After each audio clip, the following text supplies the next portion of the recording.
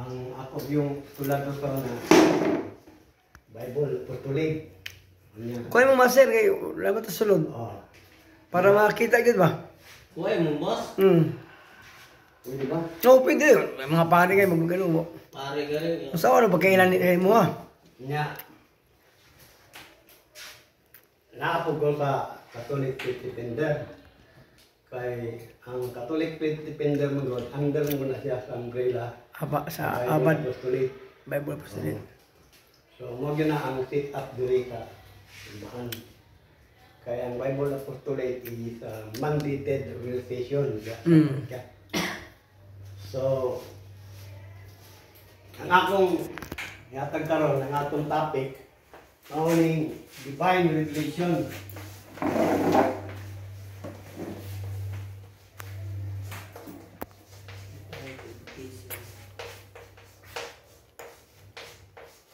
and inspiration.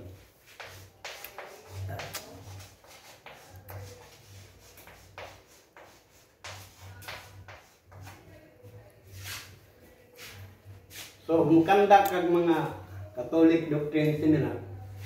Isa yun sa topic, no? Da sa Catholic doctrine seminar. Divine revelation and inspiration. so, divine revelation kana bang pagpadayag sa Dios, no? Dili ka na to. So,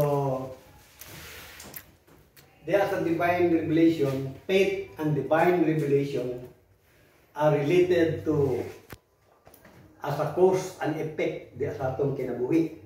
No? Kaya kung if we respond, we believe. No? If we respond, we believe. So, Buti pasabot, God implies awareness the limitations of our minds. No, kaya na may mga tao nga di mo to ginoo. Ah. Na po yung mga pilosopo. No? So, mao ni, no?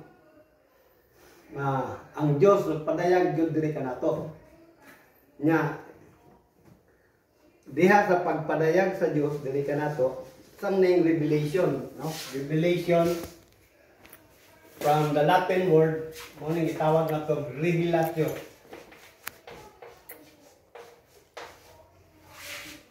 Nya sa Greek words, apocalyptos.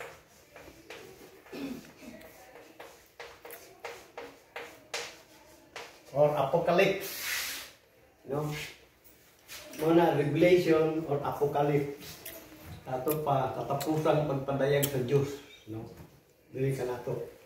Mabasa mo nato na sa katapusang bahin libro sa Biblia. No, Revelation, or laing uban na Apocalypse, sa Tagalog, pagbubunyag, Nisaya, pinadayag. No? Dayag. Oh. So, mao ni, no? Nya ang pagpadayag sa Dios, God revealed himself in two level, no? Two level of God's revelation.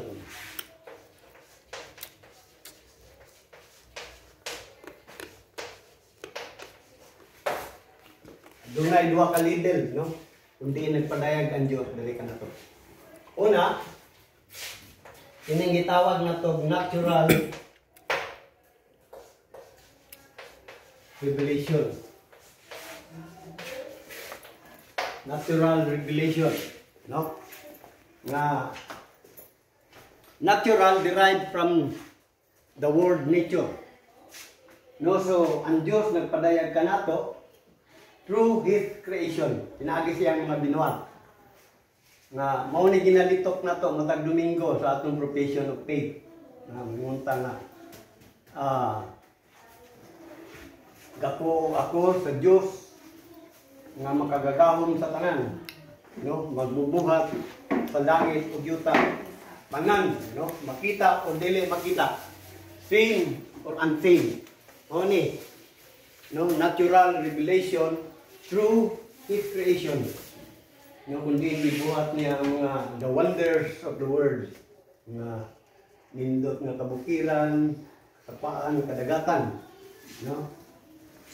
Kita niya natural revelation, no? Derived from the Greek word, ah, from the word nature. So, ana, ikaduha, ining gitawag na tog supernatural revelation.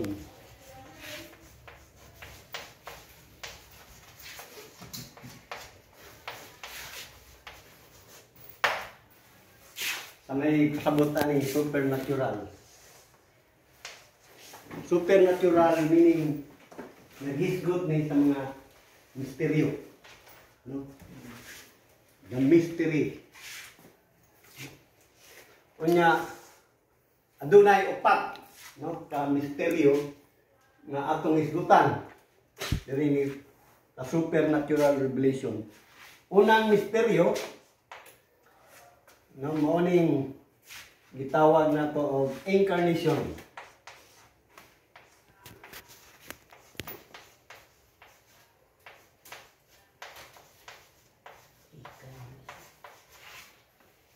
may na.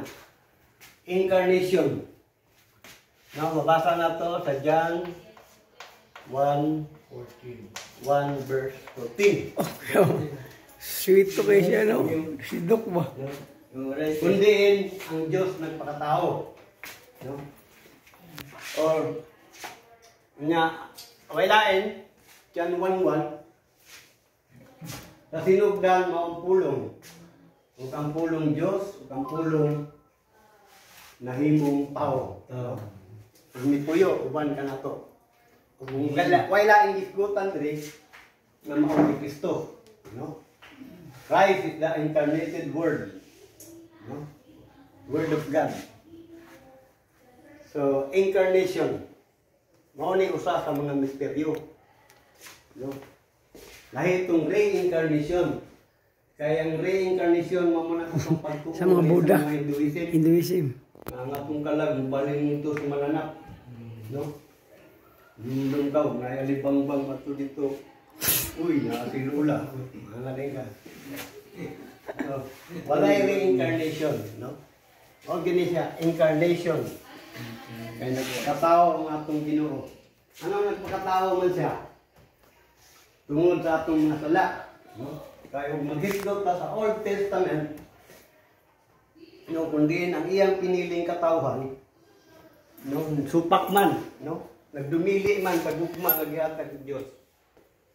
Mao na nga, nagpakatao, no, aron adunay, kay ang mga sinunog nga hinalan sa una, di naman na epekto. Una kinahanglan nga, perfect offering, no, aron bayad sa atong mga sala, ug mao ni si Kristo. So ikaduha nga misteryo, Kining misteryo sa Holy Trinity. Santa Trinidad. Nakita dito sa Dios sa usa ka Dios nga naglangkob sa tulo ka persona. That we believe mao ni ang doktrina sa atong simbahan katoliko. Mao ni Holy Trinity. That we believe in one God with three divine persons. No, bantay-bantay mo sa mga iglesia, no? Kay namungon ra mo ana. Ingnon na kanila nga brad, ang amahan Dios. Isa. Oh, isa. Nya ang anak Dios. Duha na. Nya ang Espiritu Santo Dios. So pila dahil Dios yung brad. Tulo day. Oh. So ang tubaga na, isa ka. Ah, isa. Ingnon na ninyo pagtubag, isa lang lagi, anong himuon ninyo tulo? One God with three divine person. No? Mao ni misteryo, no? Supak Nga wag yung makatugkad ni ini. Kani si Saint Agustin, kadihang na-convert siya, no? Gikan sa pagkapagano, pinaagi sa pag-ampo sa iyang anak na Santa Monica. Na from pagan word si Saint Agustin, he became uh, father of the church na malamon man siya. Gusto niya tukaron, no? Kining misteryo Santa Trinidad na sa iyang pagpamalandong naabot siya dito sa Kadlaon ng singko buntag lapin sa dagat no gusto lagi niya tugaron ni kining misteryo sa Holy Trinity unya dito sa baybayon, nakita niya na na yung sa kabata nga nakahatag sa iyang atensyon, no? Nga nagdula, nagkalot sa balag, sa balas, naglungag.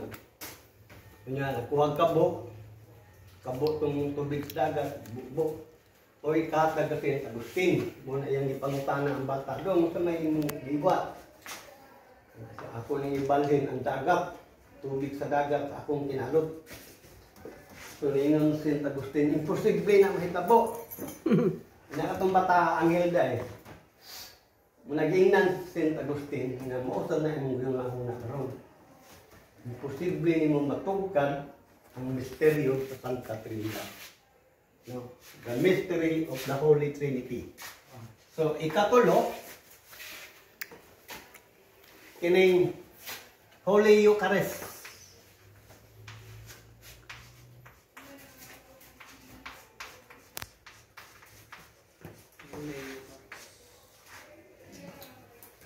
Muna, humagbayaw, pare, santos ng misa, ngayon ng pare, mawini ang misteryo sa atong patuo. From bread and wine, nahimong lawas tunay ang real body and blood of Christ through the consecration of pare. Muna gitawag na to transubstantiation, no? Transubstantiation kay diya sa Santos na misa aduna mo gay upat ka aspito na ana ang Dios diya sulod sa Santos na misa una diya sa assembleya no the gathering of the people mo gani nga ngayon tag Ginoo ana kaninyo na usab kanimo ikaduha diya sa pagbasa no diya sa pagbasa No? The Word of God. Yung magbasa. This is the Word of God. Nasa ito. But, thanks be to God. Unya diya sa pari. No? Kaya ang pari man God is the representative of Christ. No? Nga na, nakman. Unya, kaupat ang Holy Santos nga Eucharistia. Umaw na ang kalan kalanon sa atong kalag. No? The food of our soul. No? The Holy Eucharist. Eucharist. O na, pagbantay-bantay mo, kaya nanan po kuan mo dito. Adi mi mo to na brad. Kay ang pare ramay mo inom og bino, unya ang katong mga kuan. So ang pare ray maluwas. So anang mga kuana, aduna man ay dagang rason god. Una, kinang gitawag na to ah, hygienic reason, economic reason, o theological reason. Economic reason kay og mag Actually, painon yun din mo na tanang manimba. So, Asto kayo, kaya man na ang kuan ron. Mumpo, mala na. Nadaggan mo kang manimba sa katedral. Nya, hygienic reason, kung isa ra ka baso, painon ni mo, nya na na kabalodan, na dahil COVID na mga banda. So, takdal, isa na, hygienic reason. Nya, theological reason, mingon gani kag unod, among gid ang dugo dia. No? Wa mo gid mawala ang dugo dia. So nga no? Unya ang ikaupat nga misteryo, kining natawag nato ang atong kamatayon. Eh, Anong mamatay ang tao? Anong mamatay ang ta? No, atong lumduman nga we are created in the image and likeness of God. We are human, no? The word human comes from the Greek word humus, nung abot pasabot earth, soil, or dust. Muna may pabasa ta sa Biblia nga abog kagikan, sa abog kagibalik. No? Una, soil, humus. So, Anong mamatay ang tao? Kay diya sa Hebrew chapter 9 verse 27, gingon man diya nga na appointed time or human destiny is to die. No? So, what pasabot, we are pilgrim in this world. No? We are pilgrim in this world. That our main concern is to love and to serve faithfully in order to be happy in life to come. Kaya musugot kang sa dili, mabot yun ang atong kamatayon. Una, da sa Hebrew chapter 9 verse 27, ngun bida nga, in an appointed time, no? Kaya huwag mo ka kagbalo, kano sa kamamatay. Hindi po natin matagan kung saan mabot ang atong kamatayon. So, naalala ko sa ay gani, tulog, mata. Muna, hindi kamata na ito ang nabuntag, ay giyuwad ang pasalamat sa Diyos nga gitagaan taglain dugang adlaw sa atong kinabuhi. So, that's the money lang kung the supernatural, no? Mga misteryo. Malalain, or din siya. So, divine revelation with the context of the life of the people of God. No? Labi na katong mga piniling katawhan sa Diyos. Ug tanang mga panghitabo diha, katong mga piniling katawhan. No? Isangyaw man sa mga propeta, sa mga katigulangan, the patriarchs, the prophets. Isangyaw ni siya, sa wala pa may Biblia sa una. So, wala ang mga propeta is the mouth of God. No? Sangyaw. Sangyaw nila ang ilang mga kasinatian, no? Ang ilang faith experience o ang ilang secret tradition. Kundi nagpadayag ang Ginoo ngadto kanila. So ang pagpadayag sa Dios or divine revelation gisangyaw ng mga propeta mo ning gitawag naton tradisyon.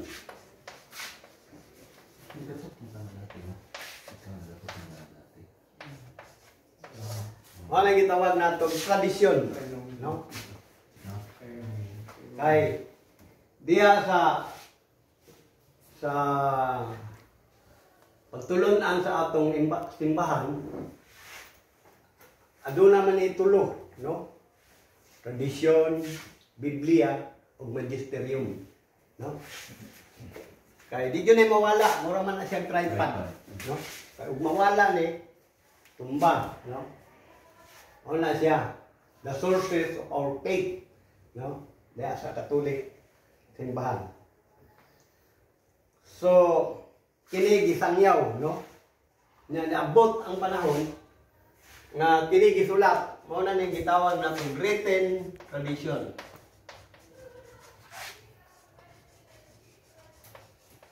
So dili pa ni Biblia. Mga balaang kasulatan nga gisulat pinaagi sa scrolls itong mga bato katong mga stone tabs. Ano ba? Nga isulat no? From oral tradition kini gitawag ning oral no? Kay pinaagi man sa bakbak ang yaw mga propeta na abot abot ang written tradition no? O na kini ilang gisulat kay nakauga muna naman sila aron kining tanan mga panghitabo kundi nagpadayag sa ila ang Dios ma-preserve no? Ma-preserve na mapuslan no? From generation to generation ug hangtod karon sa atong kapanahon Di sa tanan. Mao ni no? Oral tradition written tradition. Unya das pagtulon na sa atong simbahan gitawag na siya magisterium magisterium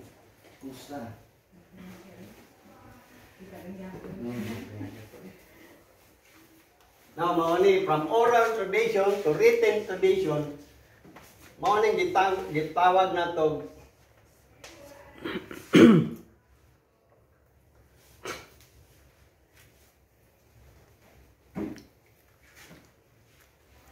inspiring top. Or biblical.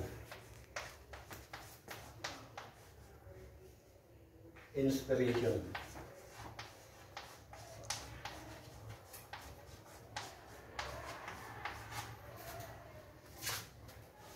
No, from oral tradition, pinaagi sa bakbak, nantod sulat na gitawag og biblical inspiration.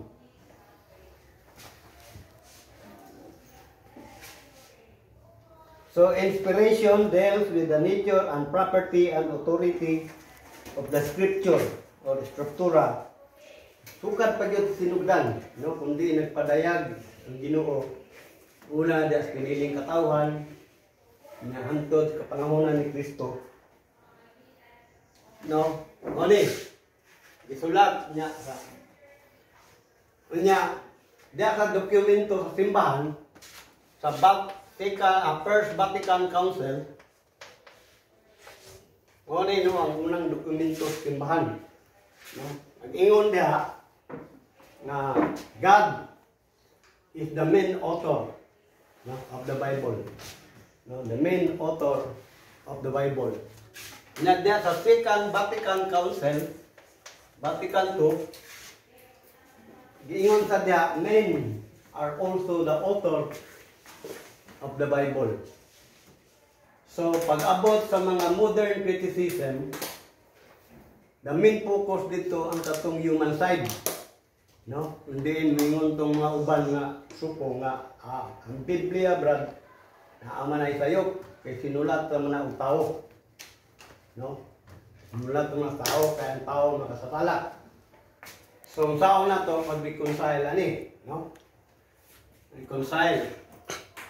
So, second mo ni ang nga dokumento sa simbahan, no? Kining First Vatican Council, mo pa niya itong unang panahon gani kundi Latin ang idiom dito. Kung mo ni gikupta ni RJ karon, no? Kay nga ano, giusab daw, giusab. Ang Second Vatican Council, mo ni kaning gitawag na to the New Pentecost. No, kung din mga kaobispuhan, set of cardinals na katigom nga ila. No? Nga ilang gi kuan, ngun daw giusab. Wala, no? Di pa pamalandungan ng tanan. Kaya pag abot mo sa Second Vatican Council, gibernacular naman eh. No? Kundi but pasabot, gipasabot na ba? Kaya magtuo sa una, kita kasi makatigulangan mga naptan hawag kay Latin, no? Pero was kasabot. Muna ang pagtuo na ana, so gi gipasabot pag yun, vernacular. So mao na ni. Kaya sa una diri wa pa na mga Pilipino pres sa una. No, nya magtalikod pa yun, nya wala pa mga readers, wala pa mga kuan. Wala pa yung mga kantor. So ang pare na yun isa. So, no ni. No? Mao na katong balik ta gani ha. No? So, God is the main author. Men are also the main author. Ning gitawag na to inspiration, no? Inspiration. So, atong makita da sa Namoy Biblia. No? Baliho kong basa sa unang Pedro, no? Unang Pedro. Chapter 1 verse 21. Thank you. Unang Pedro.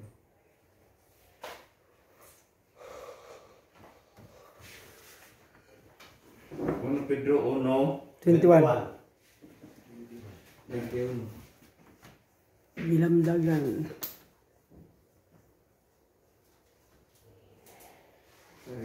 Nagtuo ka mo sa Dios nga maoy nagbanhaw o nagpasidumog kaniya. Uno Pedro. Ikaduha, Pedro. Ah, ikaduha. Oh, ikaduha, Ikaduha, ikaduha. ikaduha. Day. Ikaduha, sir. Pero ang Pedro 1, 21. Kay walay propesiya nga nahimo gumikan sa pagbuot sa tawo. Ang Espiritu Santo ay nagmando sa ilang pagsulti sa mensahe nga gikan sa Dios. Okay, now. So the scripture make us hear the voice of the Holy Spirit in the words of prophets and the apostles. Now, walay propesya nga gumikan sa pagbuot sa tao, no? So ang mga biblical writers dahil sa una, nagsulat sila may tungod sa padayag sa Diyos kanila in order to preserve their faith experience and the secret tradition, no? Aron kini mapuslan. And they are gui- guided by the Holy Spirit. Sila nagsulat, pinaagi sa lamdag sa Espiritu Santo. No? 2 Timothy chapter 3 verse 16. Pwede mo pupasa there.